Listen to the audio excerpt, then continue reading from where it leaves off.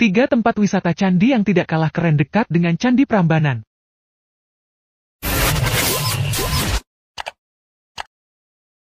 Nomor 1. Candi Kalasan Yogyakarta.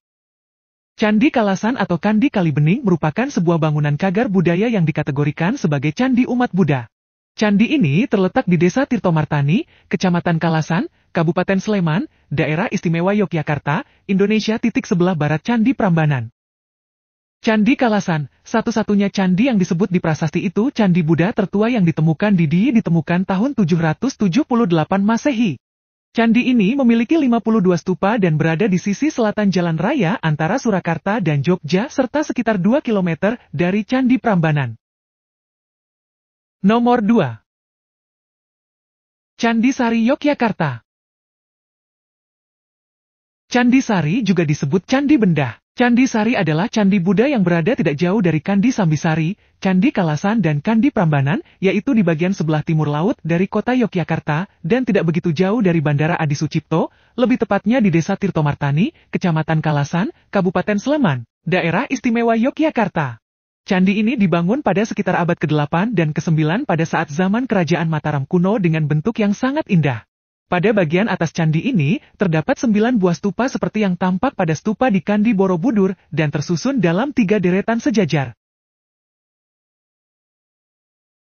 Selanjutnya, kamu bisa mengelilingi kompleknya Candi Prambanan dengan berjalan kaki, sambil mengagumi mahakarya orang-orang Hindu zaman dahulu.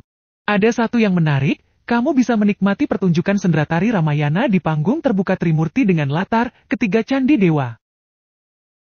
Selanjutnya, kita akan jalan ke arah utara melewati Komplek Candi Prambanan dan Komplek Candi Sewu menuju ke Candi ketiga. Nomor 3. Candi Plausan Klaten Candi Plausan adalah sebutan untuk kompleks percandian yang terletak di Dukuh Plausan, Desa Bugisan, Kecamatan Prambanan, Kabupaten Klaten, Provinsi Jawa Tengah, Indonesia. Candi ini terletak kira-kira 1 km ke arah timur laut dari Candi Sewu atau Candi Prambanan. Kompleks Candi Plausan terdiri atas Candi Plausan Lor dan Candi Plausan Kidul. Pada masa lalu, kompleks percandian ini dikelilingi oleh parit berbentuk persegi panjang. Sisa struktur tersebut masih bisa dilihat sampai saat ini di bagian timur dan barat candi. Sampai jumpa kembali itulah tiga candi wisata yang dekat dengan Candi Prambanan semoga bermanfaat. Terima kasih sudah menonton.